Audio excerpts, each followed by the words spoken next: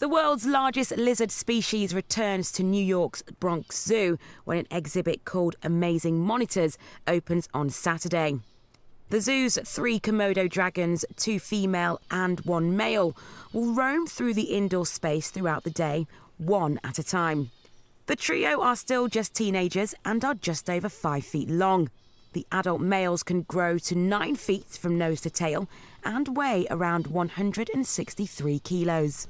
These dragons are native to the Indonesian islands. Their diet consists of small and large mammals, including deer and buffalo.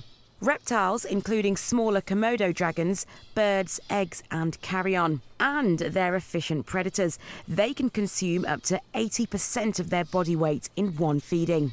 The Komodo's bite can inflict a serious wound on their prey, and their saliva contains a toxic mix of bacteria and venom fractions. So if the dragon's bite doesn't kill its prey swiftly, the saliva mix will ensure death within a few days. With a highly developed sense of smell, the lizards can track their dying prey for distances of up to almost 10 kilometres. Despite all this, they are classified as vulnerable by the International Union for Conservation of Nature.